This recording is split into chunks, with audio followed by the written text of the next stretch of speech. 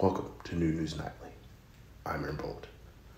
In today's news, long-standing restaurant O'Charley's is closing some of its restaurants, and we wanted to take a moment in silence to grieve for this this local and possibly national tragedy.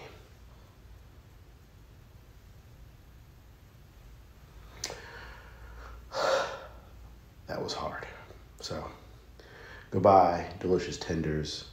Goodbye, potato skins, sampler plate, and most importantly, goodbye to good old times.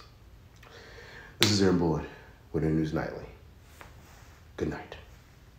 I miss it. Oh. oh.